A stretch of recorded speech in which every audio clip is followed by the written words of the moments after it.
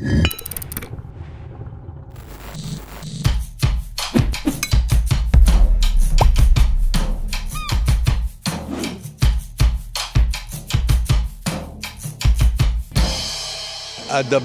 שעומד במוקד הדברים איננו כרגע זכות השיבה, אלא עצם ההכרה בשתי מדינות כפתרון.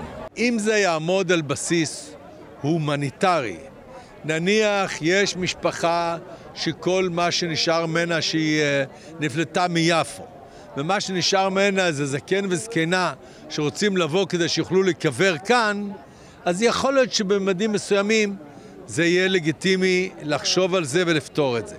אם זה בא להגיד שמדינת ישראל תהיה מדינה דו-לאומית ופלסטין תהיה מדינה לאומית, זה לא יבוא בחשבון.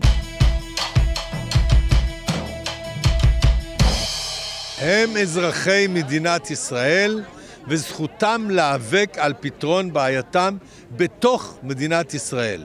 אנשי ספוריה הם אזרחי מדינת ישראל, זכותם להיאבק על פתרונם, כמו שזכותם של תושבי בירים ואיקרית בצפון לחזור לכפריהם.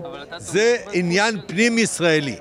אני בעד לפתור פתרונות שהם גם מעשיים והם גם הומניטריים.